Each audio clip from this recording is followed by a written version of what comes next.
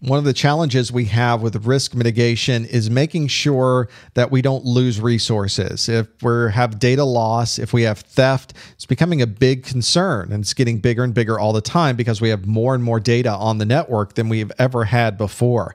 So, this is from a physical perspective, a relatively easy set of policies to put in place.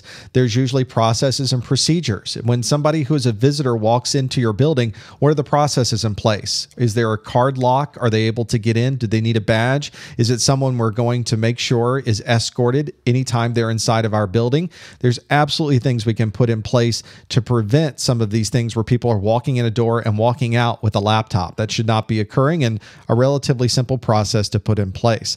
From a data perspective, it becomes a little bit more of a challenge because it's so easy to carry data around these days. We can copy data to our MP3 players, a USB key.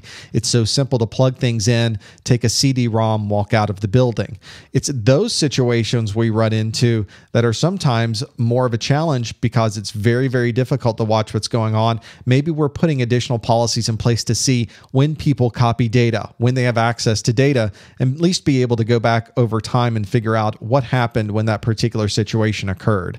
There are threats internally, there are threats externally. We can't just look at one of those. We need to look at both and make sure that our policies are set up not just for people that we don't know, but also people inside of our environment. Unfortunately, it's very often the people that we trust inside of our environment that unfortunately are creating problems with loss of data and loss of property.